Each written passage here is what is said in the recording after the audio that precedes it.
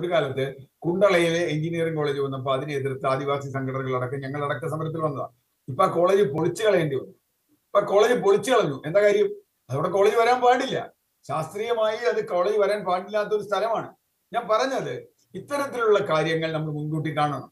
അങ്ങനെ മുൻകൂട്ടി കണ്ട് നമുക്ക് മുമ്പോട്ട് പോയാൽ തീർച്ചയായും അവിടെയാണ് ഹർത്താൽ അല്ല ഇതിന് ചർച്ചയും നിയമനിർമ്മാണവും അതുപോലെയുള്ള ചട്ടങ്ങൾ ഉണ്ടാക്കലും പരിഹരിക്കലുമാണ് വേണ്ടത്. പക്ഷേ അത് സമ്മതിക്കാത്തതിന്റെ കാര്യം നമ്മുടെ രാഷ്ട്രീയത്തിലെ വൺ അപ്പ് മാൻഷിപ്പാണ് ഞാനാണ് ഇത് ആദ്യം പറഞ്ഞത്. ഞാൻ പറഞ്ഞതാണ് ഏറ്റവും അപ്പൊ ഏറ്റവും എക്സ്ട്രീം ആയിട്ടുള്ള കാര്യങ്ങൾ ഓരോരുത്തരും അങ്ങ് പറയും. എക്സ്ട്രീം ആയിട്ടുള്ള കാര്യം പറഞ്ഞാൽ അങ്ങനെയാണ് ഞാൻ പറഞ്ഞില്ല രണ്ടായിരത്തി പതിനാലിലൊക്കെ എന്ത് എക്സ്ട്രീം എന്തൊക്കെ നുണകളാണ് അവിടെ പറഞ്ഞു വരുത്തിയത്?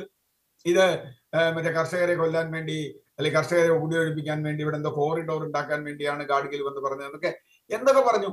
ഇപ്പോ അതൊക്കെ അതൊക്കെ എല്ലാവരും മറന്നു.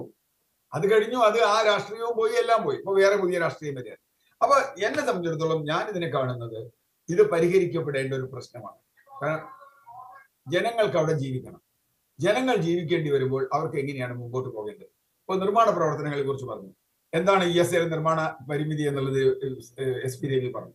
അങ്ങനെ ഒരു പരിമിതി ആ പരിമിതി അവിടെ ആരെങ്കിലും ഇടുക്കി ജില്ലയിൽ ആർക്കെങ്കിലും ഈ പറഞ്ഞതുപോലെ ഏഹ് ഇത്ര നാൽപ്പതിനായിരം അല്ലെങ്കിൽ ഇത്ര സ്ക്വയർ രണ്ട് ലക്ഷം സ്ക്വയർ ഫീറ്റിൽ കൂടുതൽ വീട് നിർമ്മിക്കേണ്ട ആളുകൾ എത്ര പേരുണ്ട് ഇടുക്കിയിൽ ക്വാറിയുടെ വിഷയം പറഞ്ഞു. ഇടുക്കി ഇപ്പൊ മൂന്നാറൊന്നും കോറിയില്ല പല സ്ഥലത്തും കോറിയുണ്ട് കോറിയുള്ള സ്ഥലങ്ങളിൽ നമ്മൾ ഞാൻ പല സ്ഥലത്തും ചെല്ലുമ്പോൾ അവിടെ ഏറ്റവും വലിയ പ്രശ്നം കോറി പാടില്ല എന്നുകൊണ്ട് ലോക്കൽ ജനങ്ങൾ സമരം ചെയ്യുന്നതാണ് നൂറുകണക്കിന് സ്ഥലങ്ങളുണ്ട്. കോറിയിൽ കോറി കാരണം അവരുടെ ലോക്കൽ ജനതയുടെ പ്രശ്നമാണ്. അപ്പൊ ഇത് ഇവിടെ എന്താ ചെയ്യണേ?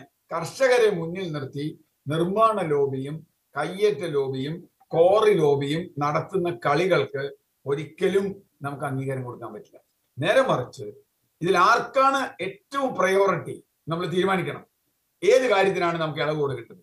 ഏത് കാര്യത്തിന് ഏത് സ്ഥലത്താണ് ഇളവ് കൊടുക്കേണ്ടത്? നേരത്തെ രവി പറഞ്ഞതുപോലെ ചെരിഞ്ഞ പ്രദേശങ്ങളിൽ എത്ര വരിയാവാം? എത്ര ഏതാവാം ഇപ്പോ നമ്മുടെ പല സ്ഥലത്തുള്ള റോഡ് നിർമ്മാണങ്ങൾ.